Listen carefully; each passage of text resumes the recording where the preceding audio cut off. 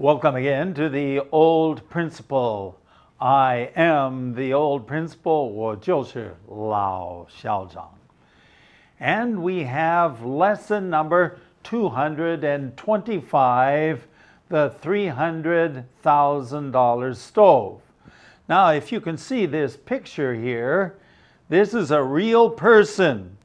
Her name was Maggie, well, people called her Maggie. But before we get into Maggie's story, let's listen to it completely as Mrs. Ash reads it. Then we'll be back. Story 227 The $300,000 Stove. Margaret, or Maggie, grew up in Hannibal, Missouri, and would eventually become one of the richest women of her times. Maggie went on foot to Leadville, Colorado, where she worked as a singer for the Saddle Rock Saloon. Maggie fell in love with Johnny Brown, the owner of a gold mine. The two were married soon afterward. For some strange reason, Johnny mysteriously disappeared on their wedding night and was gone for a week. Maggie cried a lot, but she knew that Johnny always had a good reason for everything he did, so she waited at home patiently. When he returned, the whole story became understandable. Johnny told her how he'd sold a claim and made a fortune $300,000. While they were trying to decide what to do with all that money, Johnny disappeared again. Maggie didn't worry about him, but she didn't like having all that money lying around their two room log cabin. She reasoned, oh, hmm, it's summer and we haven't used our wood stove for two months. I'll put the money in the bottom of the stove where it'll be safe until Johnny gets home. Johnny came home early on a frosty morning. He'd walked up from town and was tired and cold. Maggie was asleep and he didn't want to awaken her, so he quietly built a fire in the stove to take the chill out of the air. The smoke smelled strange, but he thought nothing of it. When Maggie wakened, she smelled it too. She rushed to the stove, hoping to save all that money. But it was too late. They'd burned up their entire fortune. Oh, but Johnny found another claim and once again made Maggie rich. Years later, when Maggie traveled in Europe, she had to hurry home and take the fastest way across the Atlantic in 1914 the Titanic.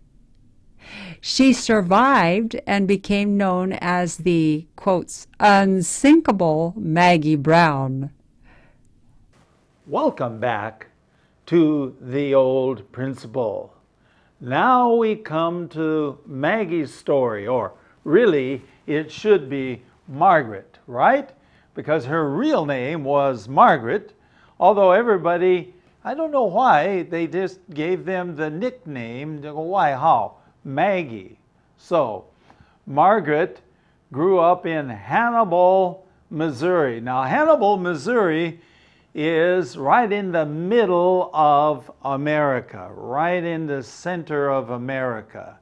It's not East Coast, it's not West Coast. Okay, so she grew up, 她长大就是在 Hannibal, uh, Missouri. Although this would be considered west. This would be considered uh, west. Well, at this time, maybe not so far west. So it's in the middle of America, but she wanted to go out where it was exciting. So she would eventually become one of the richest women of her times, Tada times, Tada she would become one of the richest women. So we will tell her story, a little bit of her story here. And uh, she also had a very interesting distinction, and we will talk about that at the very end of the program. But before we get to the end of the program, we have to continue. And she was very rich. She was very rich. Going on, Maggie went on foot to Leadville, Colorado. Now, just in case you don't know, from Hannibal, Hannibal, Missouri, to uh, this place a long, long ways away, up in the Rocky Mountains, they San Mai, okay? Rocky Mountains, okay, way up there in a place called Leadville, Colorado. Okay, she went there on foot. So, what does it mean to go on foot? That means you're walking. You're not riding. You're not flying. Obviously, this is a long time ago, so there was no airplanes. Okay. Where she worked as a singer, she worked as a singer, 她是歌手, at the Saddle Rock Saloon. Saddle Rock Saloon. 这个是酒吧. Okay, Saddle Rock Saloon. So this is Maggie. She is a singer in a saloon. Go ahead. Maggie fell in love, 她就爱上 Johnny Brown. Okay, Johnny Brown, the owner of a gold mine. Okay, so he's not just the oh um 呃这个 gold mine 这个金矿啊、金矿，OK。他是 owner of，他是拥有者。He's the owner of the gold mine. So he should be rich, right? Well, he was doing okay. The two were married soon afterward. Okay. 啊、uh,，不久之后啊，不久之后，they were married. Go ahead. For some strange reason, Johnny mysteriously disappeared on their wedding night. Okay, wedding night, 啊、uh,，你结婚之后，第一个晚上叫 wedding night. And for some strange reason, uh, he disappeared. Okay, now this is very strange. On the wedding night, you usually spend all night with your wife, right? Right? Well, in this case, on uh, their wedding night, uh, he disappeared, 就消失了,不见, for one week. He was gone one week. So who knew where he was. I imagine, in fact, if you look at the next slide, Maggie cried a lot. She cried a lot. Why would she cry? Because when you get married, you don't, your husband just doesn't go away right away. She cried a lot, but she knew something about Johnny. Already she learned something about Johnny. He always had a good reason for everything he did. 他所有事情上总有一个好的理由。He had a reason. He had a reason. So she didn't know what it was. So the best thing she could do is she patiently waited at home for her husband to return. So here she is. She's at home. She's waiting for her, her, what do you say, uh, man, her groom, the, the person she married just a few days ago, waiting for him to return. Going on. When he returned, the whole story became understandable. When he returned, she, he explained, and uh, 整个故事就很明了，变成了很呃很清楚呢，啊，他就了解，OK，understandable。Johnny told her how he sold a claim and made a fortune. Johnny told her how he had sold a claim. Okay, now we got to stop here because claim is a very important word. Okay, what is a claim?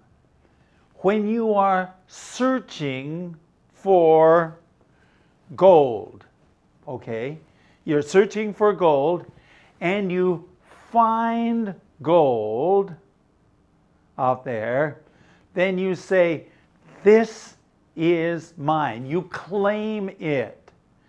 That means that for this area, you, it becomes, well, in Chinese, we could say maybe something like 土地所有权. So it's yours. It's your claim. In these days, nobody owns the land. It's, it's a free area. So if you find something important, you can, you can stake a claim. Okay, we actually, we say stake a claim. So Johnny told her how he'd sold a claim. Okay, that's a place that will become a gold mine. And he made a fortune. Now, a fortune is tato falatai 所以一大堆钱。Now, 三十万块钱美金。Man, now today that's not a whole lot of money, is it?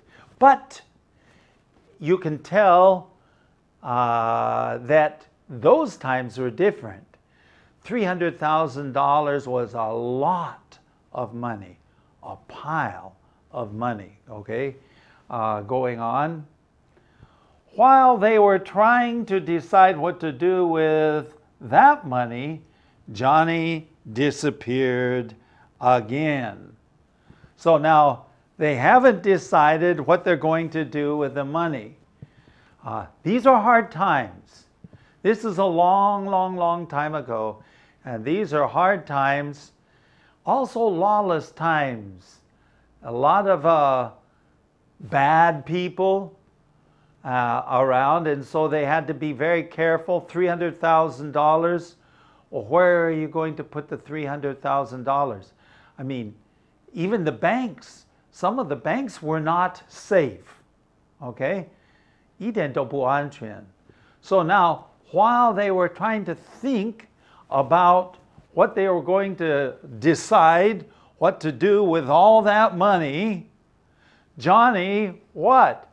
Disappeared, disappeared again. 又是不见. Okay? Uh, you could say disappeared, you could say 它消失了啊，or 就不见。Okay, well, this is not the first time, right? It's not the first time going on.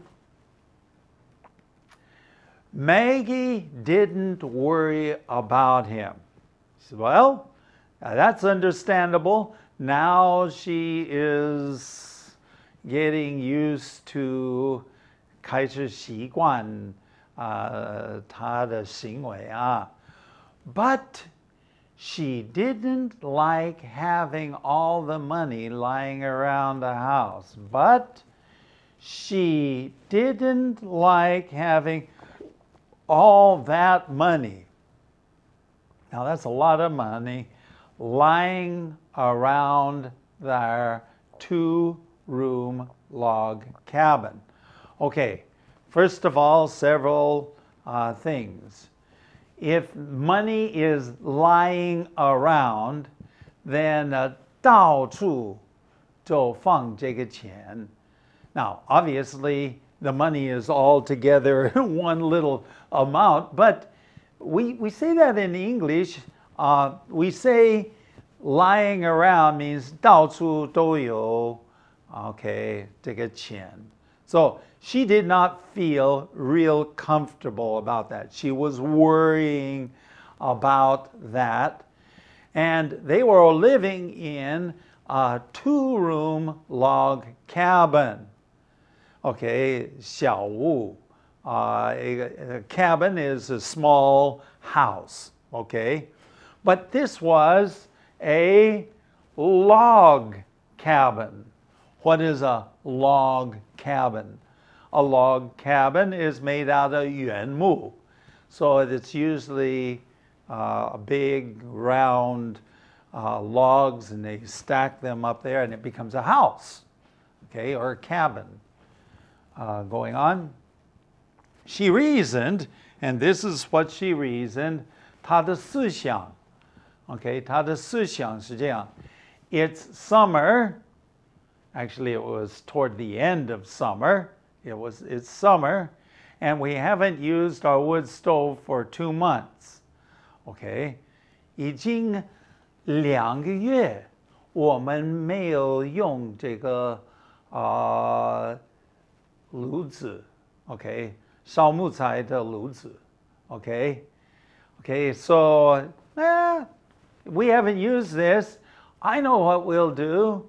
We will put the money in the stove. I mean, she decided to put the money in stove. Now, remember, uh, these are not safe times. So people are not going to look in a stove, right?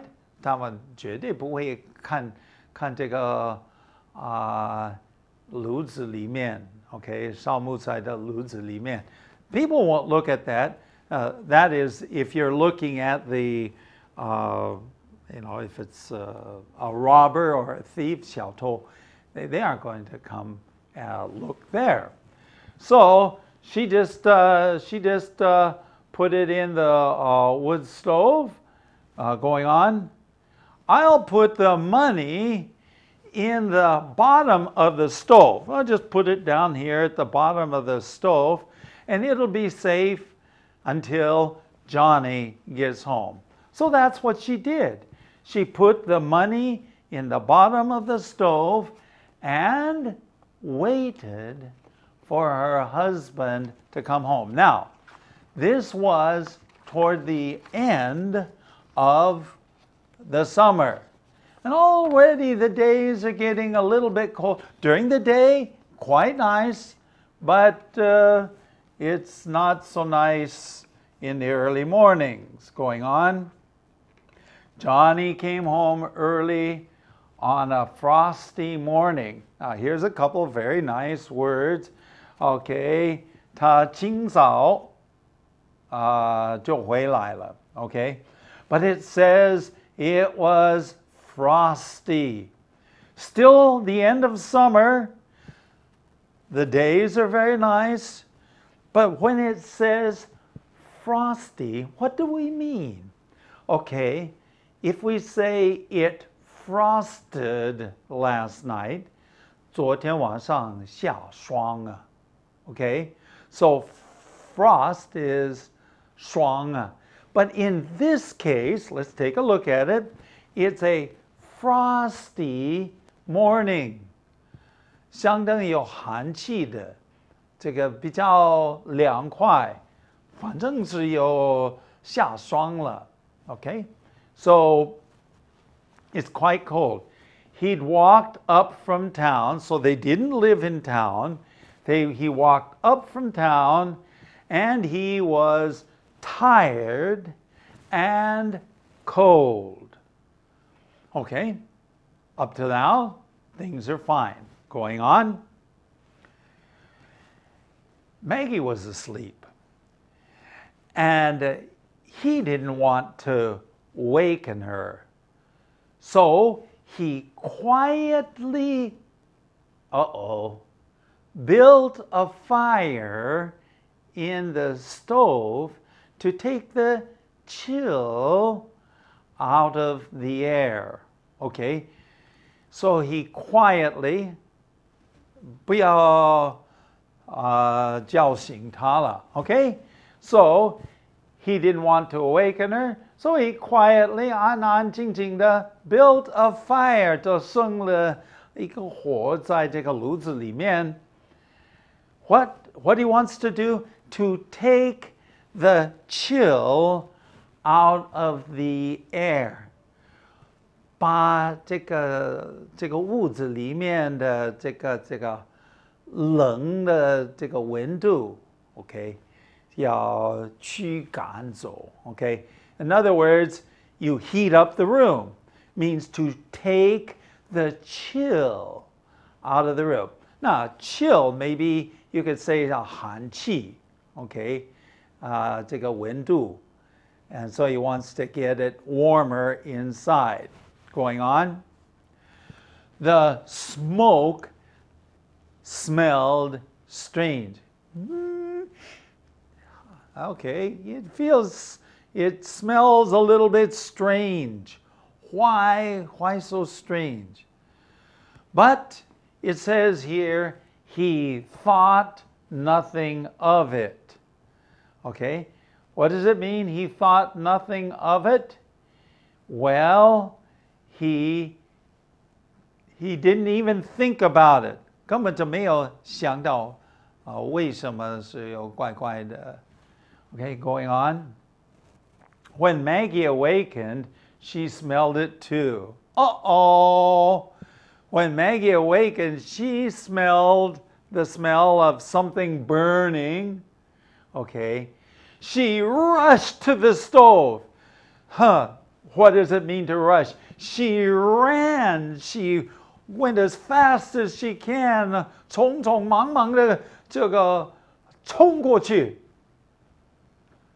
hoping to save the money. Hoping to save the money. But, going on, but it was too late they burned up their entire fortune. They burned up 他们的一切所有的一大堆钱 fortune 烧光了，burned up 烧光了 burned up. Going on. Johnny found another claim. Now, this is interesting. These are hard times, but somehow he found another claim. Johnny found another claim. Do you remember what we explained about a claim? A claim is a piece of land that you land on and you say, Oh, I want this land. And then you register, 还是要跟政府注册. Okay? and then you have 土地所有权, okay, for that area. So he found another 金矿的这个，或许会变成一个金矿啊、uh, 金矿, okay. So he found another claim, and of course he sold it again, and he made Maggie a rich lady 是 Maggie，当然 Maggie 是他的太太，所以呢，他又是发了财。Going ahead. Years later, when Maggie traveled to Europe, many years later, when Maggie traveled to Europe, 她去欧洲去玩, she had to hurry home 不晓得为什么缘故啊，她要快快的回家了。And she took the fastest way across the Atlantic. 大西洋是 Atlantic Ocean, right? So she took the fastest way across the ocean. Remember, no airplanes in those days, but the fastest way across the ocean. 最快的方法能够这个过这个大 西洋是 坐船. This is the year 1914, and she went on a ship. 大船名叫 Titanic. Titanic. Titanic. I hope there's several ways of saying Titanic in Chinese, but there's a there's even a movie about the Titanic now and uh, how it sank and uh, and all of this. Very famous movie. Okay, this is the boat that that uh, um, crashed into the iceberg and sank. Okay, so she went on the Titanic in 1914. Going on. But she survived. She lived. She didn't die. She was one of the people that were saved. And she became known as the unsinkable Maggie Brown. The unsinkable Maggie Brown. The Titanic sunk. 它在淹下去.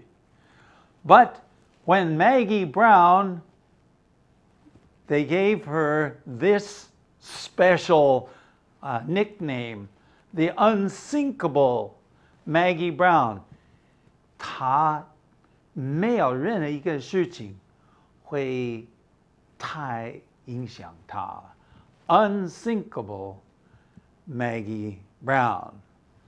So there you have it, the story of Maggie Brown and the $300,000 stove. Now, let's see. You can write an email to us.